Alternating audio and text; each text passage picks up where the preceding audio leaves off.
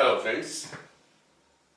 With this video we are going to start a new subject that is operations research and in operations research we are starting with linear programming a very wide subject. In linear programming first we are going to start a series of the video lectures on formulation of linear programming problem. How to formulate a linear programming problem from a real life problem or a managerial problem.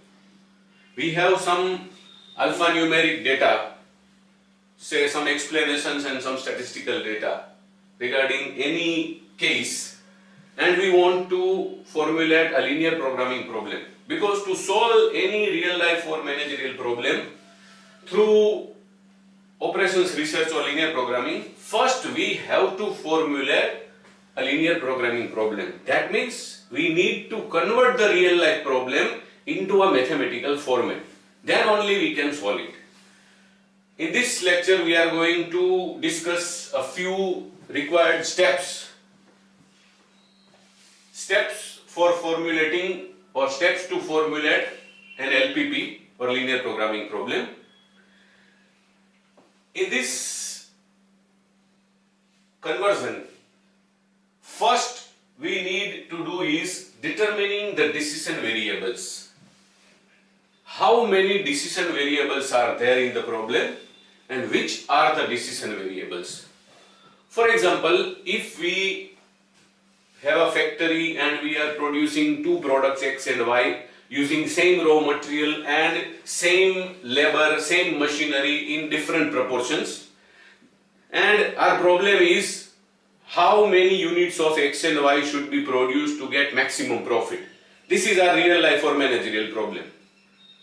In this problem, our ultimate goal is maximization of profit that will we discuss at the time of objective. But what about decision variables in our small example? See exactly what we are going to find how many units of X and Y should be produced to get maximum profit. That means everything is dependent on our X and Y. How many units of X and Y? That means the quantity of X and Y becomes decision variables or simply say x and y are decision variables. So in this case there are two decision variables x and y. The quantity can be assumed x1 for xy, x1 number of units for xy, x and x2 number of units for y and so on. Which x and y or quantities of x and y are, our decision variables. So first we have to recognize or determine the decision variables from the problem. Then the most important thing, what is our objective? In our example, the objective is to maximize profit. The objective can be maximization or minimization, maximization of profit or revenue or say margin or contribution margin, number of viewers in case of advertising problem, return in case of financial problem and there can be many more. In case of minimization, the foremost is cost, time, number of employees in case of HR problem. Now, the objective is first recognized. Then a function of objective is to be determined. What is the function? that is C1x1 plus C2x2 plus so on and Cnxn. What is this C? C represents the per unit amount of the objective factor. If it is profit, C is profit. If it is revenue, C represents revenue. If it is contribution margin, C represents contribution margin. If it is number of viewers, C represents number of viewers. Similarly, C represents cost or time, whatever the thing. So, C is a term which we use to represent the unit of objective.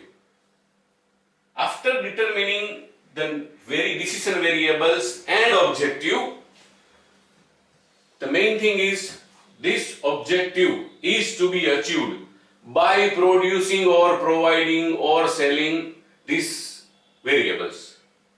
but there are some restrictions, there are some limitations which are popularly known as constraints in the case of linear programming. Here we believe that there are n number of decision variables. Here we believe that there are m number of constraints. Normally the constraints are based on the resources which are used for production or earning revenue or whatever the case may be and requirements. Generally requirements are considered at the time of minimization problem which we will later on discuss. The mathematical form of the constraints can be in the form of equality that means equation or inequality. The general mathematical form is a11x1 plus a12x2 plus so on a1n xn because we have n number of decision variables. So x represents decision variables. A represents the per unit quantity of resource or requirement. So multiplication of a and x gives us the total requirement for particular product the constraint can be in the form of inequality with greater than or equal to sign. That means minimum requirement or minimum this much requirement is to be satisfied or it can be an inequality in the form of less than or equal to sign. That means at the most this much resource is available or it can be in the form of equality in some few cases. So on the basis of the number of resources and or requirements, the number of inequalities or constraints will be determined as we have assumed that there are m constraints so there must be m inequalities or equalities in the form of constraints. And the last part is implicit conditions. The most important condition we believe is non-negativity. That means all the decision variables take only non-negative value. That means the lowest possible value. At, when we solve the linear programming problem, any decision variable takes the lowest possible value of 0 only or positive. Because we know that in real life when we produce an, any tangible or intangible product,